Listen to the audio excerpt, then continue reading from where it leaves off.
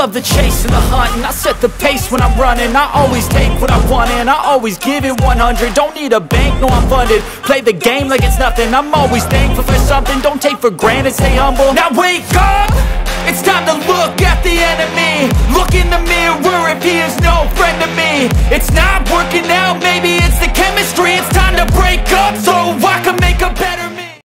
UFSC Joinville, the place where in 2013 Kosmos Rocketry was born and which today is the place where we acquire knowledge to help us build our rockets. And like every successful team, we keep searching for higher flights. And today the college lab is not our sole workplace. Through partnerships, we now have access to Fab Lab and all its structure, to Agora Tech Park, where we managed to close large partnerships that have brought us to where we are.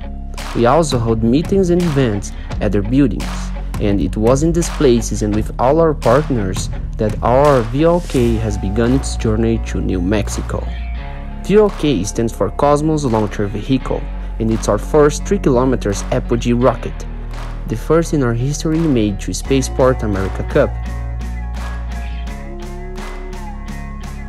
And it's powered by our self-made engine, Koala. You can see it roar.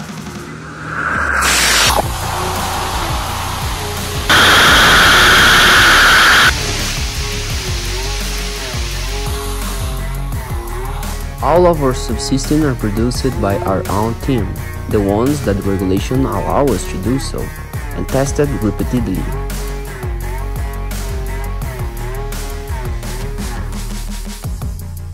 Like our telemetry and motor, because in this way we are capacitating all of our team, and with all the efforts of each sector and team member, now our VLK is ready to tear up the skies in Spaceport America Cup 2022.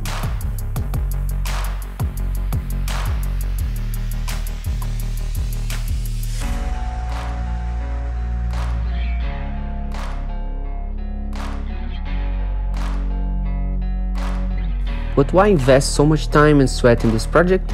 Because we love rockets and we want to bring that passion to the generations that will come, at the same time that we develop technologies to drive the space sector in Brazil. Because the future of our country is in the hands of young minds like ours.